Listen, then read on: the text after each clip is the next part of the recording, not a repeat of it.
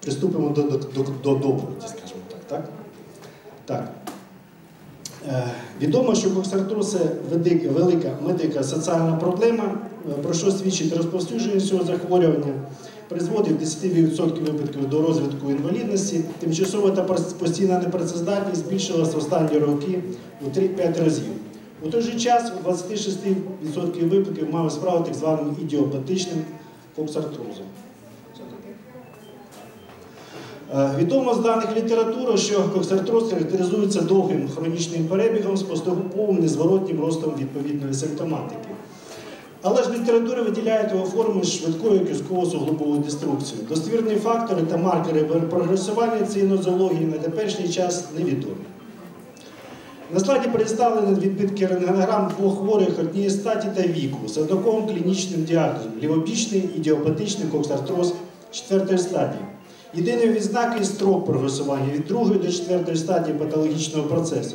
Справа строк прогресування складає 4,5, зліва 11 років. Які ж фактори впливають на перебіг остеоартрозу? На слайді схематично представлені можливі фактори впливу на розвиток коксартрозу. Треба відмітити, що десь впливу дисплазії сполучної тканини розвиток захворювань суглобів приділяється велике значення даних зарубіжної літератури. Метаболіти вітаміну Д за своєю дією порівнюють з гормональними засобами. Тут представлена схема Нортона відома. Дослідження взаємозв'язку цих факторів та їх впливу на перебіг остеоартрозу на сьогодні не проводилось. Клініці інституту було проведено комплексне обстеження 506 хворих на ідіопатичний, диспластичний та післятравматичний коксартрози. Спираючись на власні комплексні дослідження та дані літературних джерел, в залежності від вікового терміну, визначена швидка, помірна та повільна форми прогресування ідіопатичного, диспластичного та післятравматичного коксартрозу. Проведено дослідження визнало, що, різниці за віком хворих в групах різними формами прогресування не спостерігалось. Відмічається зворотня залежність форм прогресування від тяжкості клінічних проявів за класифікацією Харріс. Швидка форма прогресування характеризується найнижчою кількістю балів. При швидкій формі прогресування коксартрозу відмічало статистично достовірне збільшення маси тіла. Значення індексу маси тіла відповідало ожирінню першого ступеня заносу. Хворі було також обстежені терапевтом з визначенням відповідної хронічної соматичної патології. Найбільшу кількість поєднання чотирьох та більше супутніх хронічних захворювань спостерігали при швидкій формі прогресування коксартрозу. Виявлена значну кількість випадків захворювання суглобів у найближчих родичів хворих із швидкою формою перебігу. Показники достовірно відмінні від показників при помірній та повільній формі. Дана закономірність є неспецифічною ознакою наявності недиференційованої форми дисплазії сполученої тканини у цій категорії хворих. Для підтвердження впливу дисплазії сполученої тканини на перебіг коксартрозу було проведено рідобіомікроскопічне дослідження. На слайді представлена відома схема Янсена щільності райдужної оболонки. Е, Схема відповідності ступені дисплазії сполученої тканини до щільності райдужної оболонки. Е, При цьому дослідженні визначена пряма залежність між формою коксартрозу та ступенем щільності радіожної оболонки і стадією дисплазії сполученої. При рентгенологічному дослідженні визначено, що при швидкій формі перебігу статистично достовірно переважає атрофічний тип кісткоутворення за класифікацією Бомбелі. При визначенні ефективності проліферативної активності стовбурових стромальних клітин кісткового мозку, що утворюють кульшовий суглоб, визначений зворотній взаємозв'язок клоногенної активності та форми прогресування коксартрозу. Найнижчі показники клоногенної активності спостерігали при швидкій формі прогресування патологічних процесів. Мікрофотографії культур при швидкій формі поодинокі стромальні фібробласти, що не утворюють колонії, при повільній е, великій колонії стовбурових стромальних клітин. При мікробіологічному дослідженні контамінація мікроорганізмів визначена у 60% хворих швидкою формою прогресування. Мікрофлора представлена слабопатогенними мікроорганізмами.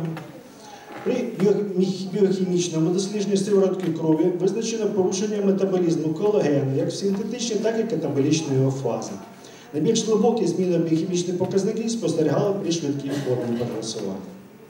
При дослідженні столбового хряща визначена зворотня залежність між містом гліконаміногліканів та колагену та формою прогресування коксартрозу.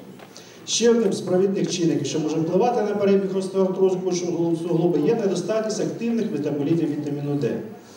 Визначено, що характерною ознакою діопатичного коксартрозу є порушення його обміну, яке виявляється 73% хворих. А також зворотня залежність між формою прогресування діопатичного коксартрозу та ступенем забезпеченості організму метаболітом вітаміну Д. Відповідна недостатність активних метаболітів Д негативно впливає на показники кісткового метаболізму. Найбільше збільшення показників загальної ложної фосфатази та юзоферментів спостерігали при швидкій формі. Відмічаємо зворотню залежність між містом мінеральних компонентів та формою прогресування. Це доводить до цінне застосування препаратів вітаміну Д в комплексному лікуванні осеротрозу. Проте дані е, декількох літературних джерел свідчать про недостатньо ефективну профілактичну та лікувальну дію. За нашою думкою, причиною неефективного впливу препаратів вітаміну Д при коксартрозі може, бути зниження біодоступності вітаміну Д з віком, системний характер змін при дисплазії сполучної тканини та назначення препаратів на фоні підвищеного рівня вільних радикалів сиворотці крові та міжсуглобової рідині. Вирішенням цієї проблеми було сумісне призначення вітаміну Д та вітаміну Е, який має анаболічний та виразний антиоксидантний ефект.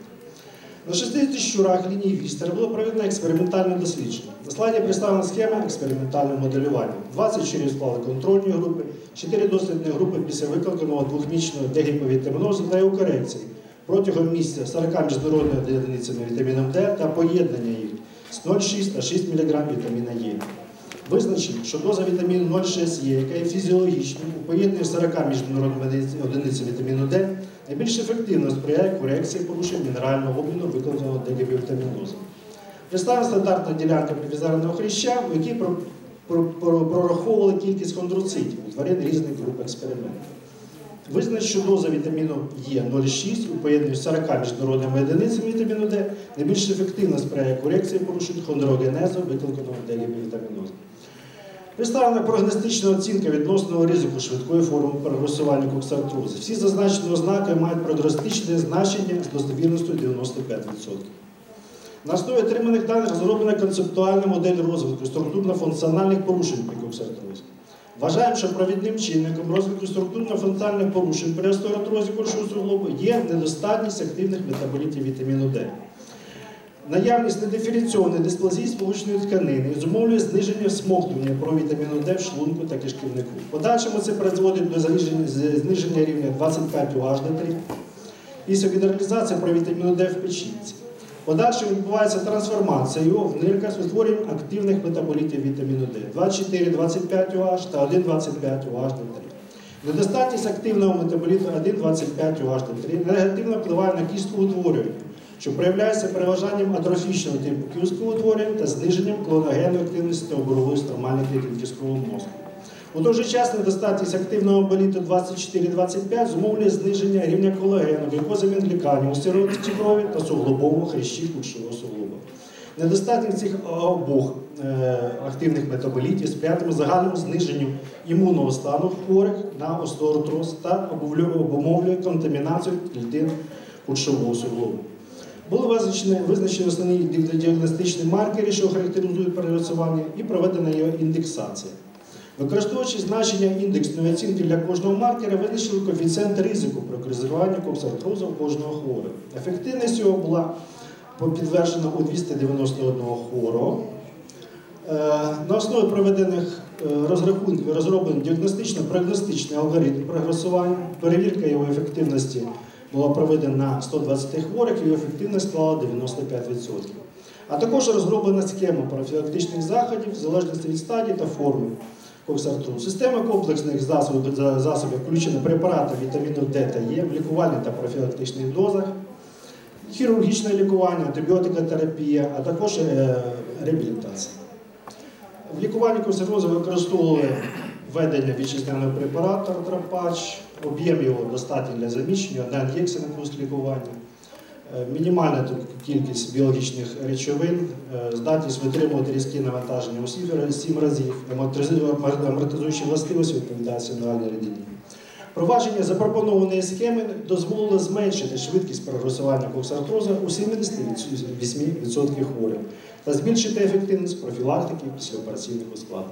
Дозвольте не зупинятися на клінічних випадках. Дякуємо за увагу.